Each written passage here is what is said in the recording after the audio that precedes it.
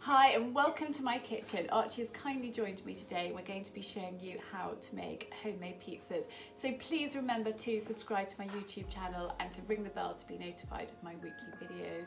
The more the merrier, so please do also spread the word. I'd be really grateful.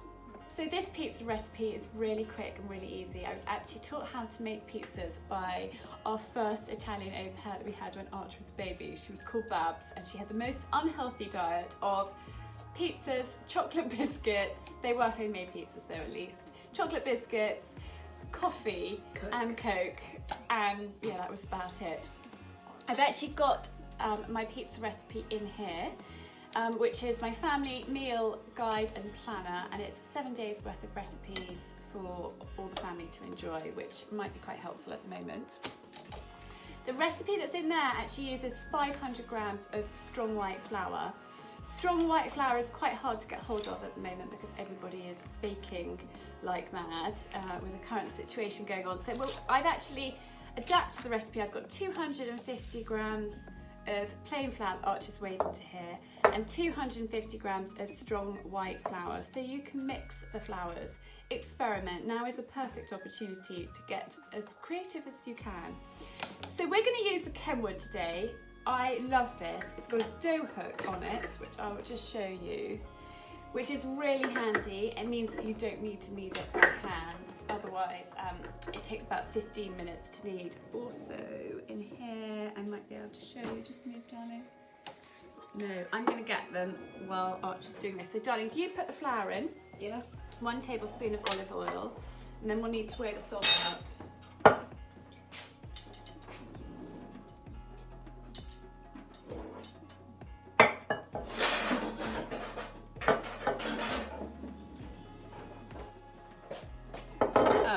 It. So this is a Kenwood um, hand blender and these are little dough hooks. So you can use these um, if you don't have a big one like that.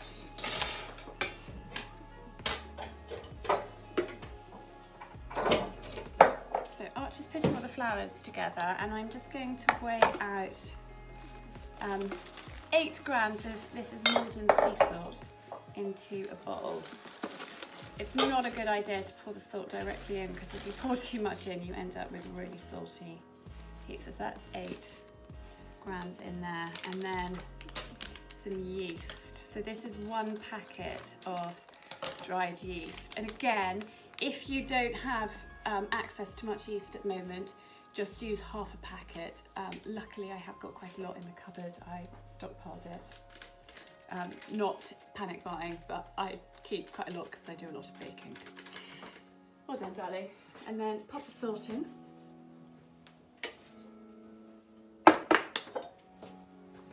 And then in here, I've got 300 ml of warm water. Warm water helps the yeast um, activate quicker, so it's a good idea to um, use warm. Did you put the olive oil in? Yeah. Well done. But fast, Okay, perfect. And it literally is as simple as throwing it all in there and turning it on. So it's going to take about um, 10 minutes with the dough hook. Once it starts forming into a ball, you can speed it up a little bit, but not too fast. Um, I'll probably put it on one and a half. And then cover it and leave it to rise. So it's just beginning to come together nicely into a ball. So Arch, do you want to turn it up a little bit more? And then literally just going to leave that for 10 minutes to do its thing. So I don't know if you can see, but it's come together really nicely in a ball. So it's time to turn the Kenwood off and lift it up. That is absolutely perfect. So I'm just going to ease this off and pop it and leave it in the bowl. I'm going to cover it and put a tea towel over and then put it in a nice warm place. So Babs used to tell me to put it under the duvet. you don't need to put it under the duvet, but you could put it in an airing cupboard or you could actually, I'm going to pop mine on top of the Aga until it rises, till it's actually probably touching um, the cling film. So you need to leave it for um, at least an hour um, if not two, for it to really rise well. So there's my cling film. Lakeland do great um, reusable versions of these, which are brilliant. So um, those are quite handy if you can get hold of them. And then a tea towel, and then on top of the Aga for a couple of hours. So our dough has risen beautifully. I'm very pleased with that. I'm now going to pour a little bit of olive oil directly onto the work surface. I have given it all a very good wipe down first. It's really important to clean it well. I've got some flour at the ready, just some plain flour, and I'm going to just push this all back, knock it back, I think is the terminology, like that. And it just, you can see it's all going back back down as the air's coming out. I'm going to divide this into three balls for the children. I'm just going approximate amount out. And then I'm just going to wipe this olive oil round like that. I've got the flour to hand because I might need it, but I might not. And I'm just going to start stretching this. Now, I am not a professional um, when it comes to making these things, you know, in in pizza restaurants, they do incredible things and spin it round. We're not going to do that. Um, I have got a lined baking tray here ready, and I'm going to put this one in here for Coco. Coco, do you want to start stretching that one out for me? Arch, do you want to get your tray at the ready, No.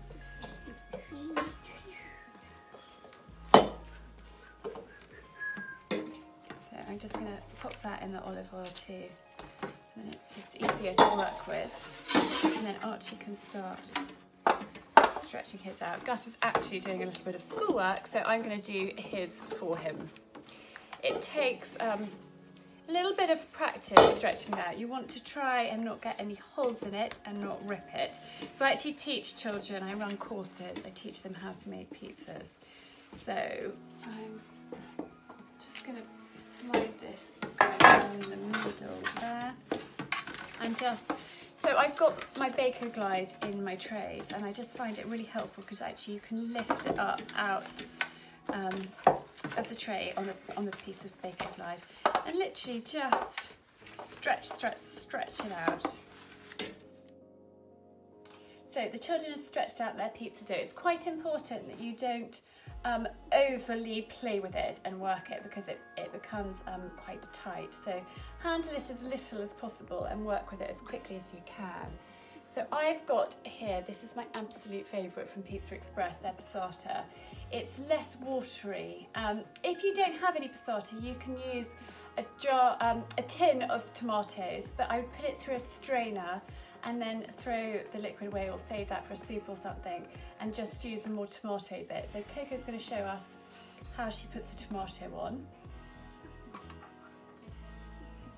I'll get you a spoon, you can do yours at the same time.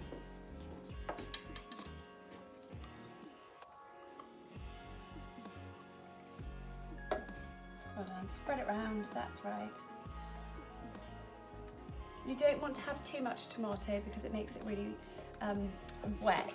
So a, a, a, light smearing is what I would suggest, just like these two are doing. Well done. And then if you want more crust, obviously you don't go up to the edges. If you like crust, then leave a little bit of space. Well done, Coco.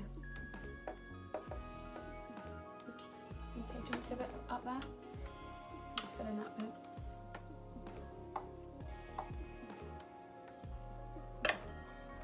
Perfect. Well done, darling. Okay. Then for, would you like ham or just mozzarella? Um, do a little bit of. A little bit of ham. Okay, there's some ham chopped up in there. Watch, there's some mozzarella there. Can I have a bit of ham? Well done. Put it, put it. And again, don't overly mozzarella it um, because it, hang on, okay, something there. Um, it gets too watery if you add too much, so just a, a light sprinkling.